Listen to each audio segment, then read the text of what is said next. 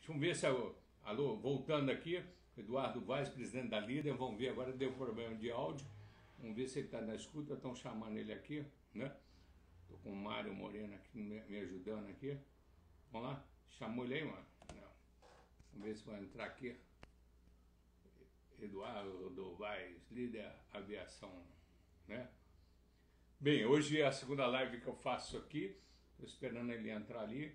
É, a gente fez com Zé Oliveira, é, um biólogo, enólogo, lá da região do Minho, lá no norte de Portugal, falando de vinhos. Hoje tem outro vinho aqui, do super nosso aqui, que não vou falar, que é o, é o per, Perlita, né?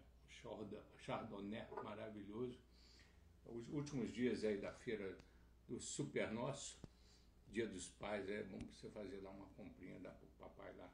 Vamos ver, achou aí o Eduardo? Eduardo, líder aviação, estou vendo ali, ó. Vamos ver. Líder aviação. Eduardo, Eduardo entrando. Ver se vai entrar. Não é aguardando. Líder aviação. Conectando. Tem áudio aí? Tem áudio aí? Agora tem áudio. Estou ouvindo bem. Salve! Ouvindo. Eduardo, aqui, o meu cabelo, eu, eu pelo menos fiz aqui uma uma transparência aqui que chama trevas. Mas eu estou longe das trevas porque hoje eu quero voar alto. Céu de Brigadeiro, salve Eduardo, 40 anos de líder, você é um herói, né? E a líder, 62 anos. Prazer tê-lo aqui. Mais uma live com gente que faz e acontece. Você aí que eu conheço a sua trajetória. Eu fui discípulo do Zé Afonso, agora eu sou seu discípulo. Né? Eu mudei é porque você está né? você está aí mais perto de mim, o outro lá está só em sol, céu de brigadeiro lá para cima. Então, deixa eu lá. Obrigado, você, 40 anos de líder, mas vamos introduzir um pouquinho atrás de um Quase grande homem, uma grande, uma grande figura aqui. Eduardo, é, Belo Horizontino? Belo Horizontino. Nasci de onde? no bairro de Santo Agostinho. Bairro de Santo Agostinho, na rua Dias Adorno. Dias Adorno. Estudou onde? Estudou onde? Estudei no, Estudou estudei, no começo eu estudei no Instituto Armanelli, depois eu estudei no Colégio Dom Silvério, Marista. Você ficava no, nas primeiras cadeiras ou lá no final, no fundo? Só para saber se era bom aluno. Eu ficava nas primeiras cadeiras, Paulinho. Estudioso. Por isso você virou engenheiro mecânico, é isso? É, é isso aí, é isso aí. O FMG? O FMG. O FMG. É. Com muito então, orgulho. fez mestrado lá fora. Onde você fez mestrado? Eu te conheço aqui. Eu estou com aquele aplicativo, é tipo top, aquele chinês, que sabe todo mundo. Você faz o radar de, de, de tudo aí. Ó. Como é que é? é, é onde, onde foi essa história? Né? Depois eu fiz um, um, um, mestrado em administração de empresa na Universidade da Virgínia, na escola que chama Darden. Darden hum. School of Business Administration. Brincadeira. Aí o, o inglês fluiu, fluiu, fluiu. E, e o seu primeiro emprego foi na Líder ou não? Olha, primeiro emprego mesmo foi na Líder. Antes eu tinha feito alguns estágios, tinha dado aula de inglês, tinha feito estágio em uma outra empresa pequena, mas aí quando eu fui contratado mesmo, depois que eu me formei como engenheiro, já foi na Líder e lá eu fiquei a minha vida toda. Então, na minha época de, engen... de, de estagiário, né, de engenharia, que foi eu entrei lá em maio de 1982. Se contar essa época, esse ano, lá se foram 38 anos já. Então está quase nos 40 aí que você falou. Eu quero, eu quero entrar nessa, exatamente por isso. Por exemplo, casado, filho, atrás de um grande homem, uma mulher com céu de brigadeiro, maior, né? Maior quem, quem, que é né? ela? Quem que é essa santa? Né?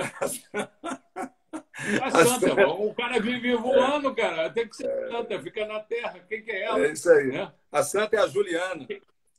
Casado Quantos com filhos? ela. Três filhos. Quantos filhos? Três, Três filhos. filhos. Três filhos. Mas dois, vamos lá. Dois homens é, e uma é... mulher. Pois é, olha aqui.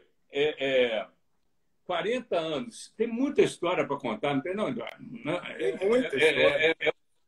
É, com cabe, cabe sintetizar isso, o, o, o, esse filme. O Zé Afonso disse que está vendo lá, nós vamos falar dele aqui. Ó. Né? Eu falei com ele é, é. mais cedo, ele falou: ó, vou, vou te assistir. Tá lá, tá lá nas Eu quero saber se ele vai saber entrar no Instagram lá, mas isso são Aí eu não sei. Aí. Né? Mas é muita história aí. muita, a gente dá para imaginar a quantidade de história que você tem. Você entrou como estagiário, não foi isso, na, na, na Líder? Né? Exatamente. Estagiário na, na, manutenção aqui em Belo Horizonte. E aí, é, primeiro dia lá, me deram uma... Primeiro, saúde. Eu abro aqui, eu estou na sequência saúde. do... coisa saúde. saúde aí, eu vou beber em nossa A todos, a nossa. E é o Super Nosso aqui que está patrocinando a nossa tá live. Está patrocinando, é isso aí. É. E, e aí? Conta aí. Mas então comecei lá como estagiário. Primeiro dia lá de, do estágio, me deram uma camiseta branca, uma calça de brim azul. E aí eu fui fazer um estágio, na época, com uma, uma pessoa que era muito. Era uma figura. Ele era um italiano que tinha vindo para o Brasil, acho que depois da Segunda Guerra Mundial, o senhor Giovanni Moro e ele era um grande ah. mecânico de motores convencionais. Na época, a líder tinha uns aviões ah. chamados Aerocommanders, e aí tinha uma, ah. uma oficina de motor, que a oficina era a única oficina que não ficava nos hangares. Essa oficina ficava já ali na sede da Lida, na Avenida Santa Rosa, 123. Aí tinha lá uma oficina muito bacana, impecável, e lá eu aprendi com esse italiano ah, os primeiros passos aí em, em aviação, em manutenção mesmo, né? em botar a mão na, na graxa lá e, e revisar os motores Lycoming do famoso Aerocommander que a Lida voou durante muitos anos. E de lá, depois eu fui para várias áreas, né, na área de manutenção também, até que eu fui contratado. E antes de ser contratado, como eu falei, eu passei para áreas de seção de hidráulica, controle técnico, fiz um estágio marketing, na área de helicópteros. Né? Mas isso foi depois, né? Mas na, na, época de estagiário, aí depois eu fui também fazer um estágio lá em Belém do Pará, na área de helicópteros, ali voava lá um Bell 212 e, e acho que depois também 412 lá na Amazônia. E aí quando eu fui contratado, aí eu fui trabalhar também como engenheiro, mas mais ligados aí à parte comercial é, na manutenção de Belo Horizonte. E, e, depois, aí, quando eu comecei a, a, ter um pouco mais de experiência, não conhecia o comandante Zé Afonso até então. E aí eu conheci, passado pouco tempo, ele me convidou para ser um assistente dele. E aí eu fui pela primeira vez ficar nos Estados Unidos, fiquei lá é, mais de dois meses fazendo estágio em fábricas de aviões, de motores, numa empresa de manutenção também parecida com a Lida, uma empresa de aviação que tinha uma manutenção muito pesada. E aí voltei, fui trabalhar com ele como assistente dele. E aí, na sequência, eu fui ser gerente de vendas de aeronaves, aí gerente de marketing da empresa. E, e aí, depois, muito novo, é, ele me promoveu a, a diretor de vendas militares, porque eu estava naquela época pensando em fazer esse mestrado e ele estava achando que eu não precisava. E aí ele, acho que até acelerou a minha passada aí para a diretoria, querendo que eu ficasse e desistisse do curso. Mas Entendi. eu estava bem, bem focado e bem decidido em ir. Aí eu fiquei trabalhando mais ou menos um ano como diretor. E aí depois eu resolvi fazer é, aí esse, esse mestrado. Ele me apoiou integralmente. E aí eu fiquei nos Estados Unidos dois anos e depois ele queria que eu ficasse trabalhando lá pela líder no, nos Estados Unidos, aí tocando várias coisas de lá. Aí eu fiquei lá aproximadamente mais dois anos e voltei para o Brasil é, em 1993 como diretor superintendente. E depois aí já fui para presidente, muito novo, né? Como comandante aí resolveu curtir um pouco mais a vida, então teve uma, uma preparação gradual e foi muito muito importante e um desafio muito grande, né? que é substituir o fundador, o presidente, que era uma pessoa extremamente competente, dedicado, não era fácil. Né? Então, foi a primeira transição na empresa. Então, a empresa, com, com 62 anos, só teve até hoje dois presidentes, que foi o comandante, durante os primeiros 40 anos, e eu agora, durante os, os, os 22 anos da líder aí, depois dele. Né? Então é mais ou menos. Vida 62 uma... anos, você presidente Qual foi o aprendizado desses 40 anos seu aí, dentro dessa escola que foi a líder aviação, como você colocou? Olha, Paulinho, é, o aprendizado, eu acho que ele tem um aprendizado é, tanto do lado pessoal e do lado profissional. A aviação é uma, uma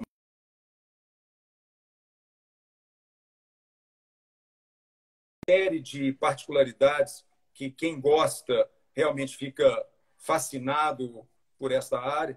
Ela tem tecnologia, ela tem inovação, ela tem uma ligação com o mundo fora do Brasil muito grande, ela tem um dinamismo e ela tem também uma série de dificuldades. Não é um ramo fácil, é um ramo de capital intensivo, é, praticamente quase todos os custos é, mais relevantes são ligados ao dólar.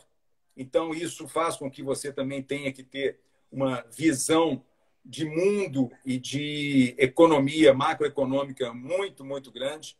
E o que a gente fez nesses últimos aí 40 anos, né, e desde o início de 62 anos, foi realmente um trabalho incansável de aperfeiçoamento constante, buscando fazer da aviação, em primeiro lugar, a nossa paixão, mas também com muito pé no chão, porque tem muita gente que é, é um aventureiro, é um sonhador. Né? Muita gente nós já vimos aí, começa na aviação, encantado, acha muito bonito, é, avião, helicóptero tal, mas que realmente não é um, um, um ramo fácil, porque os custos são muito pesados, um custo fixo muito pesado. Então, você tem que ter uma empresa muito bem organizada. Nós temos uma equipe excepcional, a melhor equipe do mercado. E a Líder é uma empresa também extremamente profissionalizada, extremamente organizada, que fez com que a gente sobrevivesse aqui no Brasil é, todas essas crises, inclusive essa atual, né, que nós nunca Essa aí eu queria falar daqui pra, eu queria falar daqui para frente aqui. Vamos situar para quem está nos assistindo aqui o que, que é a líder hoje, né? O que, que é, quantas unidades tem, as suas bases. Acho que muita gente não sabe o que, que tem atrás exatamente dessa grande empresa que é tida aí dentro do conjunto, salvo engano, se me corrija, que seria a maior empresa de jatos aéreos é, é, da América Latina dentro do contexto. É isso mesmo? Né? Exatamente. A líder sempre foi, né, nesses últimos aí 40 anos, a maior empresa de aviação executiva, aviação geral, e esse nome ele é usado de uma maneira até meio de, é, sinônimos aí, na América Latina e uma das maiores empresas do mundo. Ali tem uma reputação reconhecida aí mundo afora, aonde você vai, na Europa, nos Estados Unidos, na Ásia, todo mundo conhece a líder.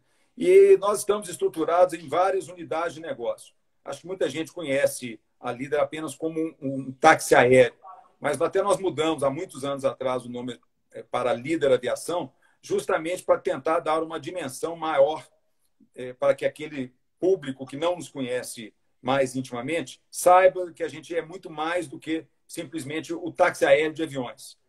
Essa foi o, esse foi o início da Lida, né? Então a Lida tem hoje é, uma frota de aviões, é, jatos e turbohélices. Nós temos também, dentro dessa mesma unidade são, de negócio. Me, me corrija se eu estou errado, são 60 aeronaves, é isso? É 60 isso? aeronaves, exatamente. Então, são 60 aeronaves, são 39 helicópteros. Isso inclui helicópteros também, Eduardo? Inclui helicópteros também. Então, helicópteros nós temos. Então, helicópteros à parte. Helicópteros, nós temos uma divisão de helicóptero à parte, principalmente para suportar a, a indústria aí de óleo e gás.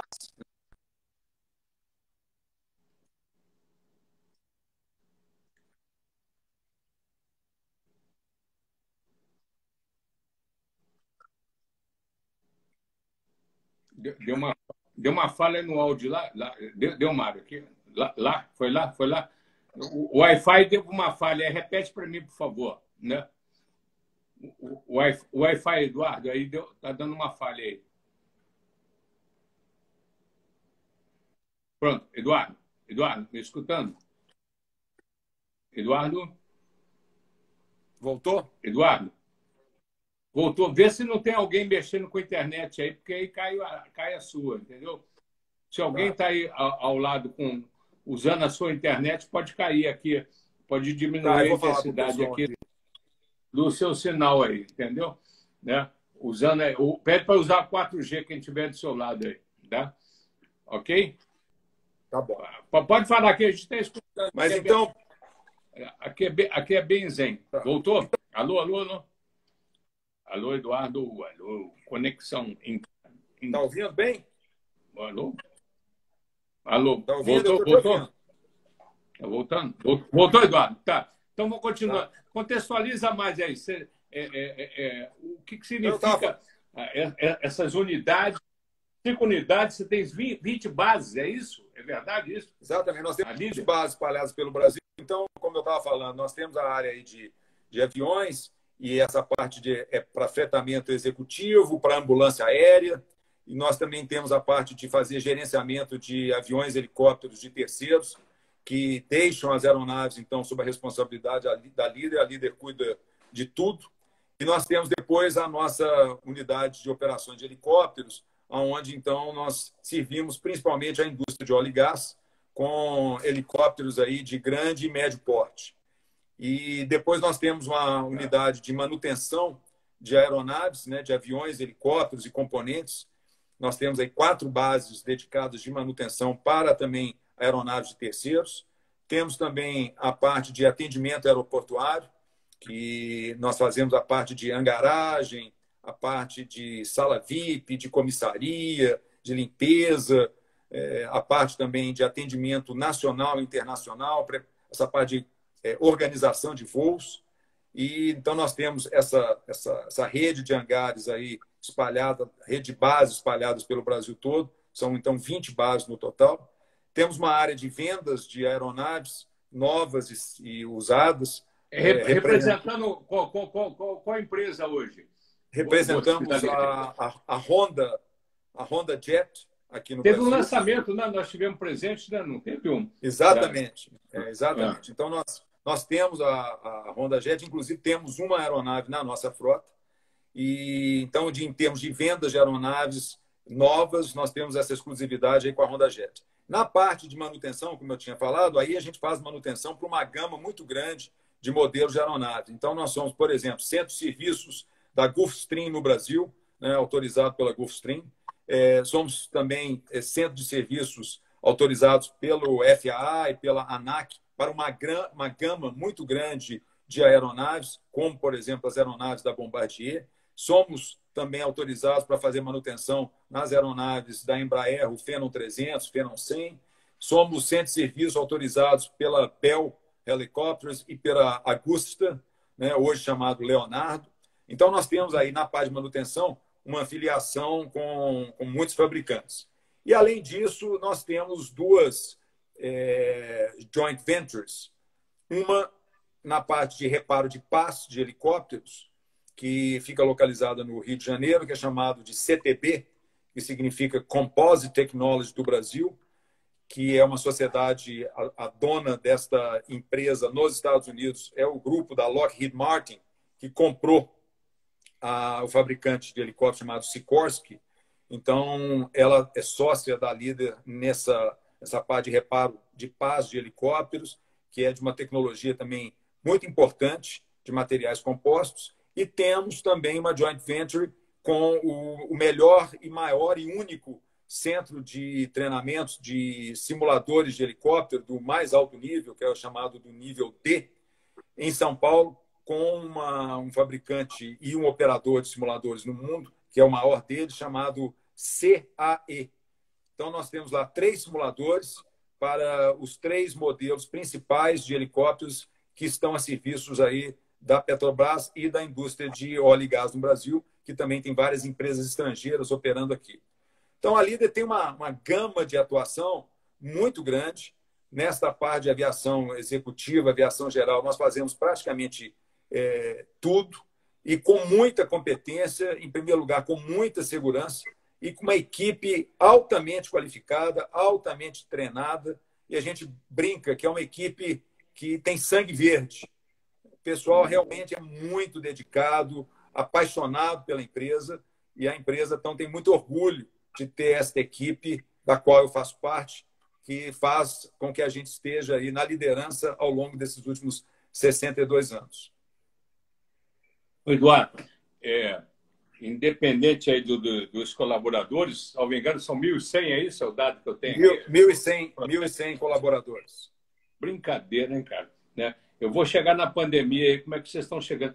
Mas, mas é, eu que conheço de tabela aí o, o processo de vocês, é, esse, esse, esse exemplo né, de, de empresa mineira, uma das poucas empresas mineiras hoje que têm um orgulho nacional, que tem um reconhecimento internacional, por sinal, é, também é uma escola, né? uma escola para muitos, em todos os setores que você aí bem pontuou. Né? Porque muita gente passou por aí e foi para aviação comercial também, mas sempre foi para a parte técnica também uma referência de bons serviços, de bons trabalhos, de, de, de exatamente de, de transparência e seriedade e confiabilidade, né? Que eu sempre ouvi isso do comandante José Afonso Assunção de falar disso, né? É, é por aí, né? É. Eu acho que é, é uma escola, né? É, é, uma, escola. É uma escola, é uma escola não só para a aviação executiva, aviação geral, mas também para a própria aviação comercial de linhas aéreas. Então, vários pilotos, vários mecânicos, vários engenheiros que já passaram pela líder estão trabalhando hoje né, em todas essas empresas aí comerciais e principalmente aí na, na aviação executiva, na aviação geral. Então, a gente tem uma cultura de aviação, uma cultura de excelência, que ela é muito forte. São princípios e valores que a gente realmente carrega no dia a dia e faz com que a gente tenha aí é, os melhores índices de segurança do Brasil e um dos melhores do mundo. A líder é reconhecida, por exemplo, pela Petrobras, que é o maior contratante aí de, de helicópteros do Brasil há muitos anos, nós temos aí três ou quatro anos como o primeiro lugar no programa de excelência no transporte dele, é, ano após ano, e uma distância cada vez maior do segundo, do terceiro colocado. E isso é um reconhecimento, isso é um processo de auditoria que eles têm é, durante o, o ano todo. E não é a única empresa que nos audita, nós temos aí várias outras empresas que nos auditam. Nós temos aí todas as certificações, as melhores e mais difíceis certificações internacionais. Então, a gente realmente é uma referência é, não só para o Brasil, como para o mundo. Agora, isso é o trabalho contínuo, esforço, seriedade né? e realmente de dedicação, de fazer a coisa absolutamente com o melhor padrão possível, para oferecer para todos os nossos clientes a tranquilidade, a segurança que uma aviação desse nível merece ter, não só no Brasil, como no mundo. Bem, o Eduardo, Nesse em SOSP do 2020, com essa pandemia, com tudo isso, com essa bagagem todinha, né? com, com essas nuvens aí, nesse céu de brigadeiro que sempre foi aí um carimbo de vocês, né? Como é que vocês estão lidando com esse contexto aí, né? É, a aviação executiva, é, ela ficou muito sacrificada ou ela ganhou espaço, é, independente da gente falar de de hoje, de todo o trabalho, todo o protocolo de segurança, de, de, de, de atenção, de, de, prevenção que vocês fazem? Isso seria a segunda pergunta. É? É, olha, eu acho que esse, esse momento tem sido um momento, acho que, duríssimo para o mundo, é, para o Brasil e né, para quase todos os setores. Então, nós estamos assim sofrendo também, tivemos uma queda de receita, mas eu acho que nós fizemos muita coisa nesse período em primeiro lugar, cuidando, então, da segurança dos nossos clientes e na segurança dos nossos colaboradores. Então, nós tivemos aí um, um, um, intenso preparo. Já no final de fevereiro, no começo de março, nosso time foi muito previdente e começou, então, já a fazer planos de preparação para se houvesse realmente essa pandemia, se ela chegasse aqui no Brasil, então, nós começamos a fazer esses planos todos e comprar todos aí os, é, os materiais, né? essa parte aí para as pessoas que tinham que trabalhar. Na... Pedir licença, Mário, você tem algumas imagens aqui, inclusive de, de segurança, não tem? É, eu, eu, vou pedir aqui o, Mar, o Mário Moreno aqui para até ilustrar aqui um pouquinho aqui, né? Mas aí continua né? aí nesse nós, capítulo. Nós fizemos essa preparação. Eu vou entrar agora exatamente no capítulo de segurança. Mas, eu, eu, eu mas é, é, paralelo a isso, então, é, vocês tiveram não uma bola de cristal. Se adiantaram, é isso, Eduardo? Nós nos adiantamos, nos preparamos e aí conseguimos fazer primeiro a transição para aquela parte da equipe que podia trabalhar em casa, no home office. Eu estou com a imagem aí da segurança, inclusive, aí da, da, da precaução aqui, tá? Exatamente. Tá. Então, mas até antes disso, nós fizemos, então, duas coisas. Mais, um nós preparamos. Nós é. preparamos a linha de frente, ou seja, a parte de que, das pessoas que tinham que continuar trabalhando, que eram aí os tripulantes, os mecânicos, os engenheiros, os atendentes de pista. Então, dando a eles toda a parte dos equipamentos de proteção individual necessários para que eles tivessem a proteção e necessários também para que os, os passageiros e os clientes que estavam transitando nas nossas, nas nossas aeronaves, nas nossas instalações, eh, tivessem total eh, proteção. Então, nós incorporamos rapidamente é, o, as nossas normas sanitárias, que já eram bastante elevadas, mas, diante da pandemia, nós tivemos que repensar todo o protocolo de segurança para que a gente, então, entregasse o mesmo nível de segurança em voo que a líder sempre foi reconhecida internacionalmente, que a gente, então, tivesse também os mesmos protocolos sanitários é, aqui né, nas nossas instalações, nas nossas aeronaves. E é paralelamente a isso, todos os colaboradores que podiam trabalhar de casa foram para casa e a, as, nossas, é, as nossas ações, que nós temos também uma parte de tecnologia da informação, uma TI é, muitíssimo bem preparada, pessoal de altíssimo gabarito, e nós então conseguimos tocar a empresa, diminuindo então o número de pessoas nos nossos hangares, nas, na nossa sede e tal, e as coisas continuaram a funcionar muito bem. A empresa não parou, todas as, as atividades continuaram é, funcionando, as pessoas é, tendo a capacidade de fazer integração através aí de programas como Teams, como Zoom, é, a nossa parte de dados funcionou perfeitamente, a gente tinha toda a parte aí de protocolos e de é, equipamentos necessários para que todo mundo ficasse é, conectado e também uma, uma, um comitê de acompanhamento aí dessa parte do Covid-19, é, com, com reuniões diárias, de acompanhamento diários. Fizemos, então, acompanhamento aí com todos os funcionários, sabendo aí daqueles que estavam apresentando alguns sintomas, de fazer o teste, de tirar essas pessoas. E nós tivemos, graças a Deus, poucos casos na empresa até hoje e não tivemos nenhuma pessoa que tenha tido, é, que tenha, que tenha, vamos dizer assim, ficado numa situação muito difícil, é, na, na, sua parte de saúde. Graças a Deus, ninguém morreu. Tivemos apenas aí um caso que ficou é, uns dias internado, mas já saiu lá do CTI. Então, essa parte dos nossos protocolos também funcionou muito bem. A líder fez também, nesse, nesse momento aí, é, muitos voos de ambulância aérea. Nós tivemos um aumento de 400% no número de, de 400% comparado com o ano passado o número de UTIs aéreos, ou seja, de ambulância aérea, e, e, fizemos, então, trazendo pessoas do norte do país, do nordeste, do exterior, e não tivemos nenhuma contaminação nos nossos voos, nenhum, nenhum tripulante da líder foi contaminado e nenhum passageiro foi contaminado por nós. Então, isso aí prova que todos os protocolos que nós fizemos foram absolutamente bem feitos, bem implementados, e isso entrou no DNA, acho que, da empresa. Então, hoje nós temos é, procedimento operacional padrão para quase tudo. Então, tem detalhes para, desde você receber um passageiro na, na, na, nas suas bases, aonde você é, evitar de cumprimentar, evitar de tocar na bagagem antes de você fazer a higienização das mãos, entendeu? de você realmente fazer a limpeza, a sepsia das salas VIPs, é, de, a cada embarque, dos toaletes, da aeronave, uma limpeza completa.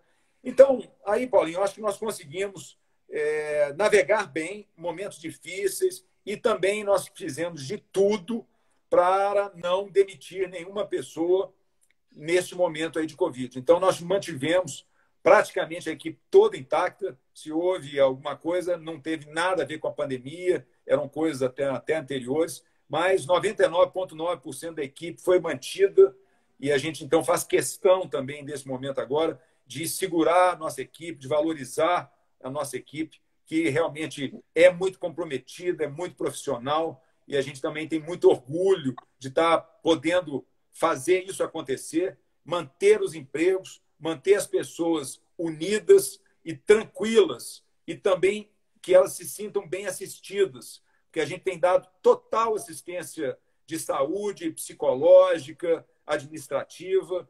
Então, a gente tem assim sentido que é, isso é fundamental para que a gente consiga também passar para os nossos clientes a segurança que eles precisam para poder continuar utilizando os nossos serviços com a mesma tranquilidade que eles tinham antes. Respirando, porque agora você. Parabéns. É... Mas e aí o pós-pandemia?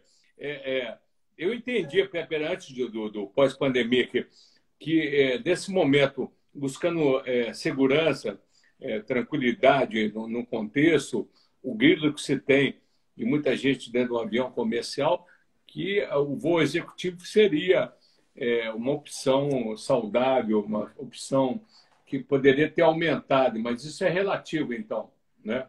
Ou não? Eu acho que é relativo o seguinte, né? Neste momento agora, é, você viu aí, muita gente deixou de viajar. Mas, ao mesmo tempo, é, acho que as, algumas pessoas precisam viajar, precisam viajar por vários motivos, ou profissionais, ou pessoais, é, ou familiares, ou por problemas de saúde.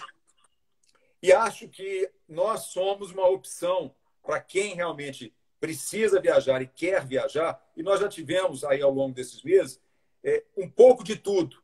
Nós tivemos aí famílias que queriam viajar para o sul do país para levar a, a, as crianças para passar uns dias na Serra Gaúcha, pessoas que queriam visitar é, familiares Família. em outros locais, é, pessoas que tinham que fazer uma viagem é, de trabalho fora do Brasil ou no norte. Então, eu acredito que as pessoas que se sentem mais seguras e pessoas que, então, é, têm condição, porque a aviação executiva tal não é uma coisa, infelizmente, não é uma coisa barata, né? A gente, por mais que a gente queira é, tornar esse serviço acessível tal, mas a aviação não é uma coisa barata, é muito, como eu falei, muito ligada ao dólar, o dólar também subiu nesse período aí bastante.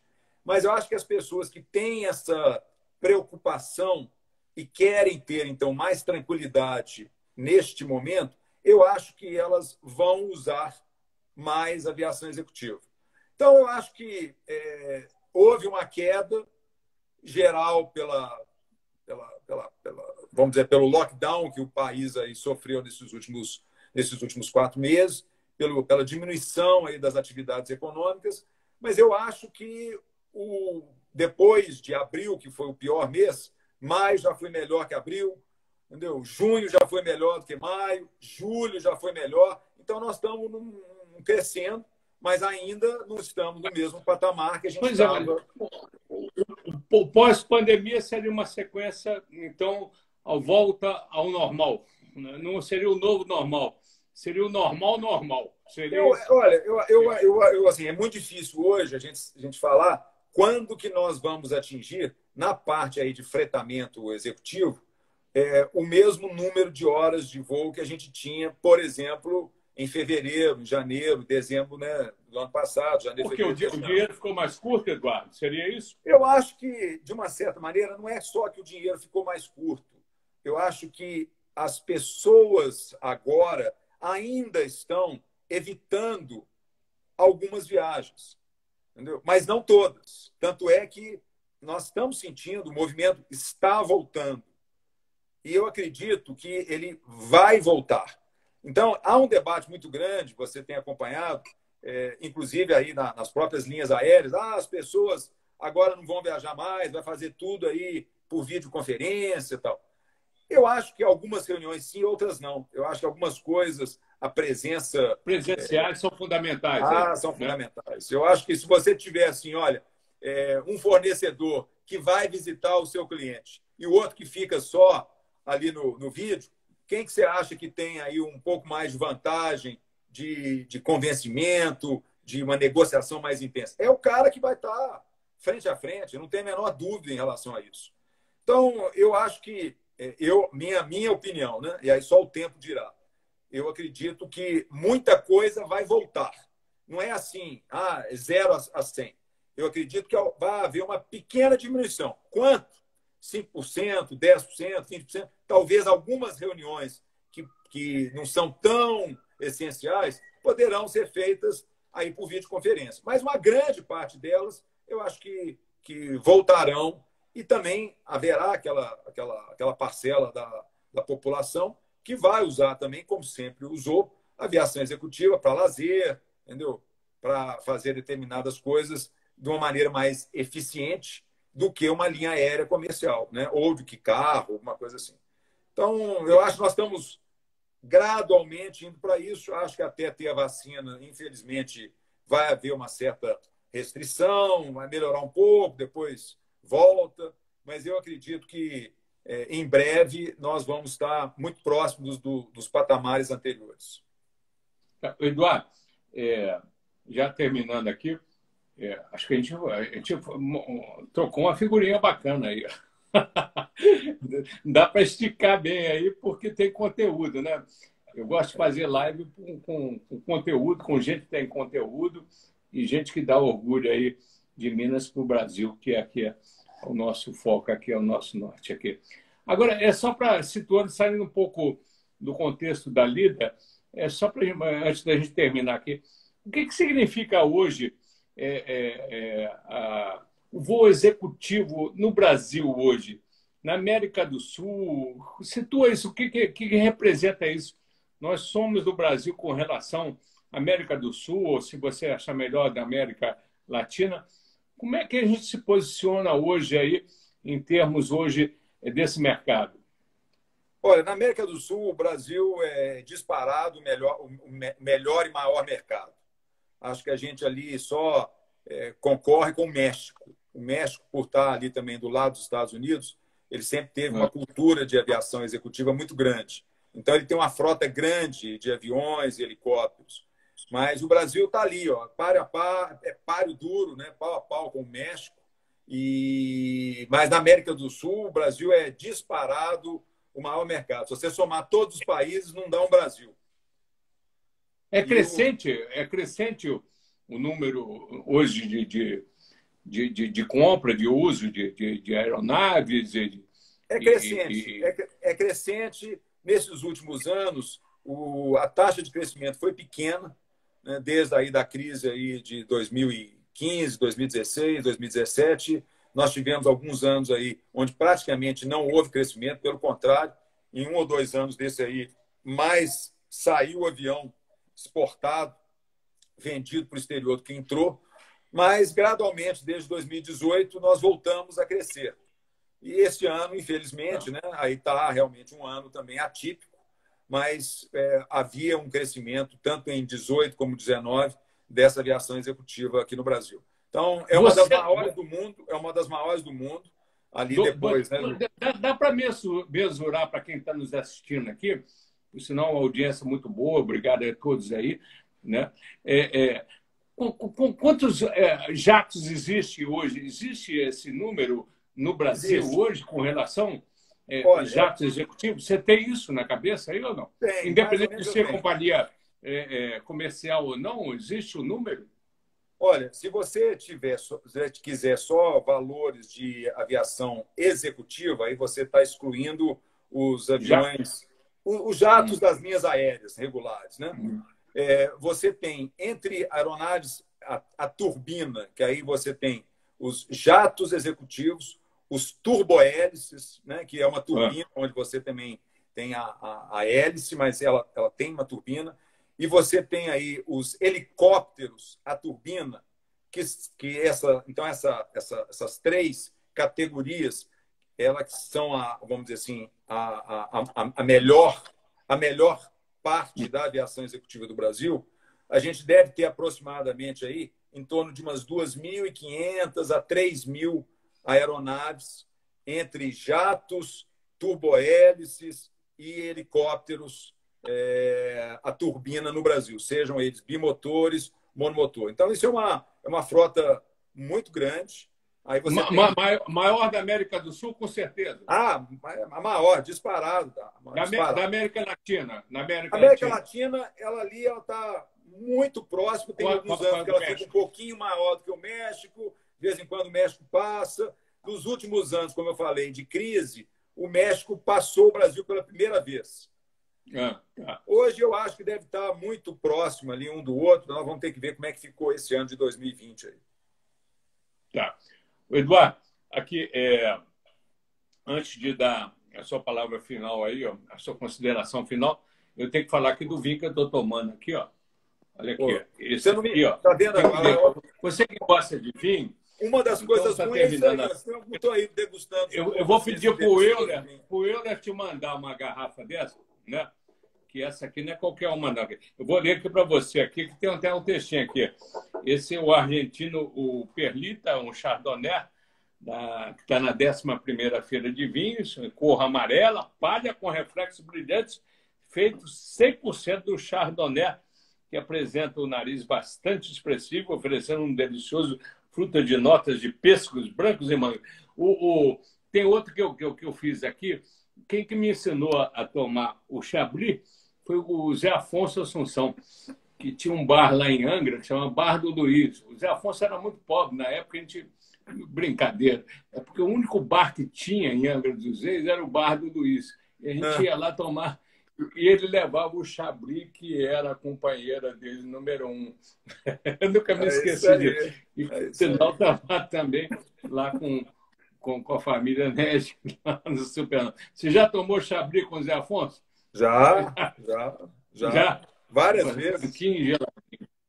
Agora eu deixo você aqui, independente do eu aqui, eu fazendo a merchandising para toda a família Nerd aqui, terminando aqui essa live uma consideração final sua sobre é, esse contexto aí hoje da aviação executiva e agradecendo já antecipadamente não só a minha equipe aqui, está tá aqui o Mário, está ali o Klaus, está ali a Sabrina, está ali o Alexandre Dias também, tudo, mas a sua consideração final e parabéns aí pela sua expertise, por 40 anos, aí eu acho que foi uma escola para você, como eu falei também para todo mundo que passou, que está dentro da líder, né? porque o norte do nosso Zé Afonso Assunção, é, ele sempre visou aí céu de brigadeiro. Por sinal, eu fiquei sabendo, né? Vamos ver se você sabe aqui para terminar. O que é céu de brigadeiro? Você sabia disso? Você sabe o que? Não, céu de brigadeiro. Qual, qual que é? Vamos ver se, se, a versão é a mesma. Qual que é? Eu, a versão que eu sei, céu de brigadeiro é o céu que que não tem nenhuma nuvem, aquele céu azul, límpido tal. E de brigadeiro, eu não sei se é porque na Força Aérea o melhor, né, o cargo mais alto é o brigadeiro. Então, para o brigadeiro voar sem turbulência, é o céu para ele voar. É mais ou menos isso? E... Brigadeiro, brigadeiro. Tinha que voar. Na... Isso que eu fiquei sabendo outro dia, achei interessante que é, é, o céu de brigadeiro que o brigadeiro quer voar, não quer turbulência nenhuma. É Como aí, ninguém é quer turbulência, né? e todo mundo vai passar essa turbulência, essas nuvens todinhas que a gente viu aqui, que você aí pontuou muito bem aí, que é, que é tudo. Eu sou kardecista e sempre vi que, que, que o nosso mestre Chico Xavier tinha atrás dele uma nuvem, né? O que significava isso? Que tudo passa. Então, é isso aí. É, que passe, mas essa onda aí, essa nuvem, porque a nuvem vai passar e a gente vai ficar e dando glória aí não só à, à, à ciência, mas sobretudo a Deus também que nos dá esperança aí. Agradeço a você e a palavra final é sua aí, é, enfim, né? Olha, eu queria te agradecer a sua gentileza é, de me convidar aí para essa live, te parabenizar pela iniciativa. Você realmente é um, um grande batalhador aqui para Belo Horizonte, para Minas Gerais. Você e sua equipe aí realmente são muito competentes no que fazem, de manter a, a chama acesa aqui né, dessa, dessa fase difícil e aí ainda ter um, um ponto aí de relaxar com um bom vinho e bater um bom papo que a gente espera que as pessoas também possam, de uma certa maneira, esquecer esse, esse tempo turbulento pelo qual a gente está tá passando.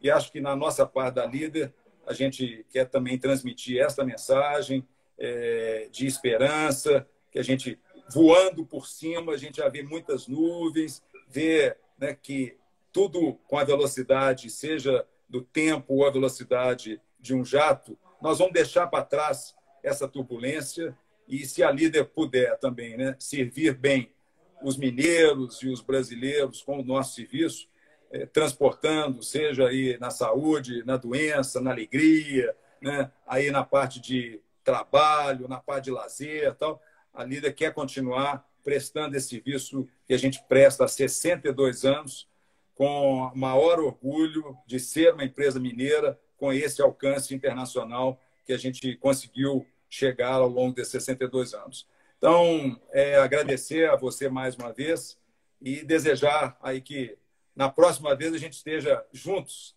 brindando e não distantes assim. Mas receba o meu abraço, meu agradecimento também, Paulinho. Tá. Para terminar, porque senão não sou o Paulinho Lavar, eu vou fazer uma cobrança aqui ao vivo a cores do comandante Zé Afonso Assunção, que prometeu que é, quando eu for partir, a minha alma vai ser encomendada por um Bruline, o da líder, levando a minha alma, e eu vou ser recebido lá no além por umas moças bonitas, elegantes, né? Dando aí, aí você fala lá com o comandante, fala com o comandante, aí eu não, não posso garantir essa parte lá que Deus vai te não, receber com as boas. Você tem que endossar aí. Eu quero ir de líder lá para cima. Tá certo. Um abraço, minha gente. Fica um abraço, Deus aí. Abração. Saúde, um saúde, saúde. Saúde. Obrigado. Tchau.